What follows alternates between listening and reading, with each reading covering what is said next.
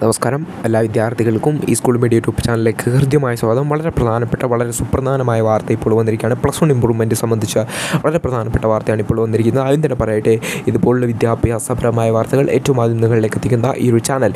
ഇപ്പോൾ തന്നെ നിങ്ങളൊന്ന് സബ്സ്ക്രൈബ് ചെയ്തേക്കുക. കൂടാതെ തൊട്ടടുത്ത് കാണുന്ന ആ ബെല്ലേക്കും കൂടി ഒന്ന് എനബിൾ ചെയ്തേക്കുക. പ്ലസ് വൺ ഇമ്പ്രൂവ്മെന്റ് പരീക്ഷ സംബന്ധിച്ച് ഏറ്റവും പ്രധാനപ്പെട്ട വാർത്തയിലേക്ക് നമ്മൾ കടക്കുകയാണ്. രണ്ടായിരത്തി ഇരുപത്തിയൊന്നിലെ ഒന്നാം വർഷ higher secondary vocational higher secondary പരീക്ഷാ വിജ്ഞാപനത്തിൽ ഇമ്പ്രൂവ്മെന്റ് പരീക്ഷ ഉണ്ടായിരിക്കുന്നതല്ല എന്ന് പ്രസ്താവിച്ചിട്ടുള്ള സാഹചര്യത്തിൽ ഒന്നാം വർഷ ഹയർ സെക്കൻഡറി ഇംപ്രൂവ്മെന്റ് പരീക്ഷ നടത്തുന്നത് സംബന്ധിച്ച് തീരുമാനം ഉണ്ടാകും ഉണ്ടാകണമെന്ന് ശുഭ പരാമർശ പ്രകാരം പൊതുവിദ്യാഭ്യാസ ഡയറക്ടർ ആവശ്യപ്പെട്ടിരുന്നു.